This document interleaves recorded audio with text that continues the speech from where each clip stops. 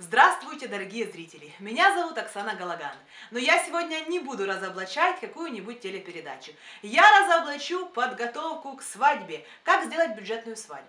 Вообще это все не только с моего опыта, и с множества, множества видео, интервью, которые я пересмотрела до свадьбы, после свадьбы, опрашивала всех. Вообще моего опыта снимания видео. Я когда-то давным-давно еще занималась и видеосъемкой свадеб. Но организация моей свадьбы была очень быстрая. Мы организовали свадьбу за неделю. Поэтому мы просто физически не могли сэкономить, поскольку у нас все было срочное. Но я многому научилась в этом процессе, и поэтому могу поделиться с теми, кто хотел бы самую экономическую свадьбу. Во-первых, это обман, что зимой и в будний день свадьба дешевле. Возможно, если вы будете долго искать ресторан и выберете самый неходовой день, возможно, будет дешевле. Но в основном у всех одинаковая ценовая политика. По крайней мере, в моем городе так.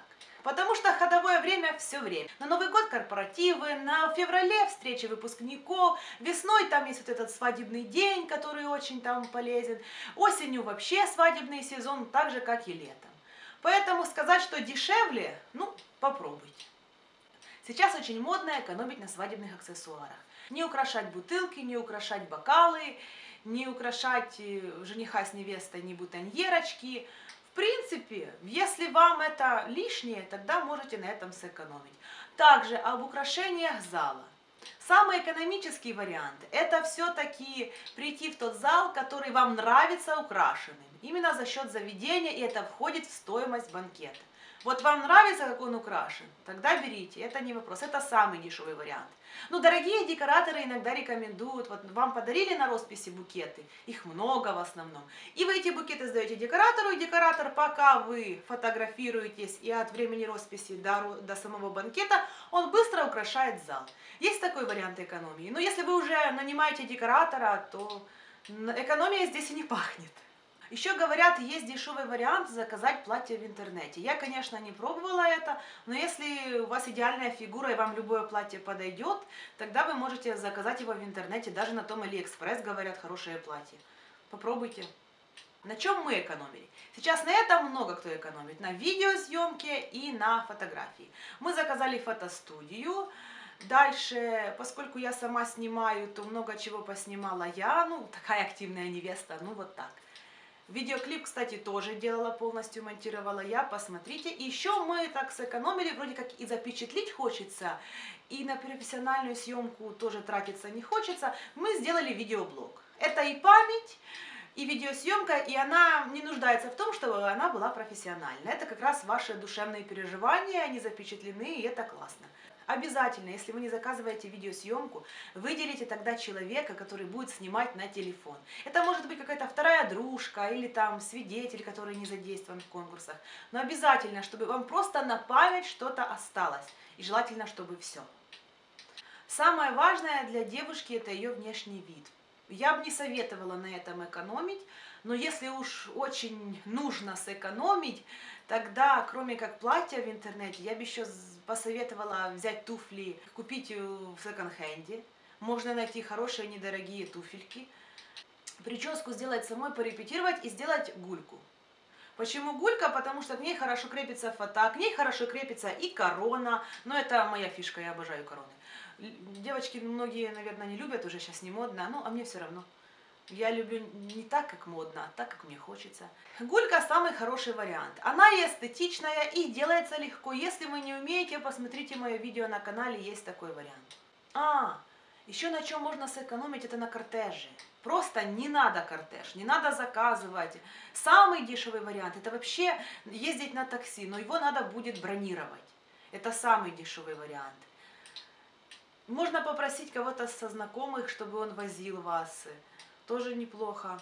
Да, не делайте свадьбу так, как мы. Не делайте ее в кратчайшие сроки, потому что тогда вы просто не сможете сэкономить.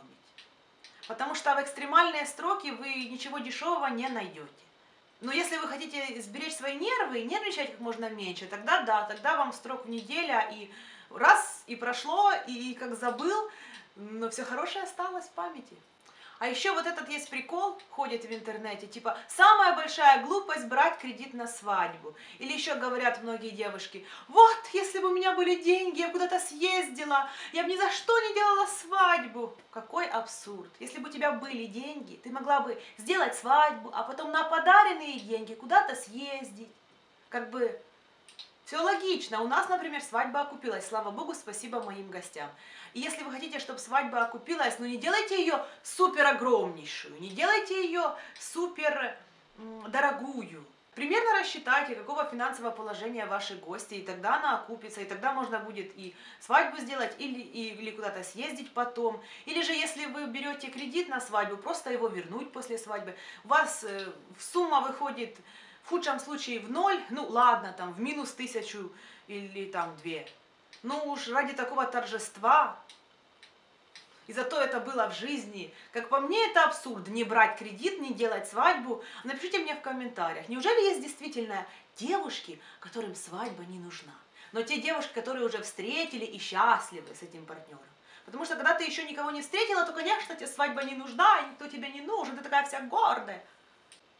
Обязательно даже если у вас бюджетная свадьба, нужен ведущий. Обязательно.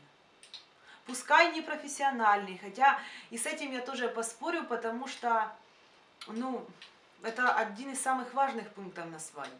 Даже не так важна еда, как ведущий, потому что, ну, еда, ну, всякое бывает, атмосферу люди запомнят, но это мое мнение.